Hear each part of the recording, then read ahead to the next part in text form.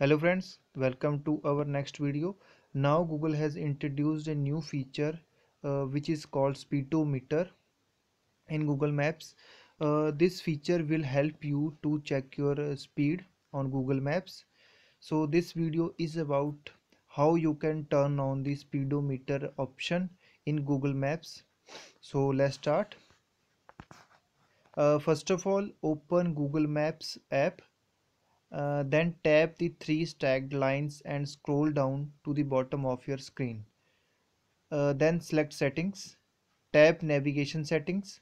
After that scroll down to the driving options menu and slide uh, the toggle on for speedometer.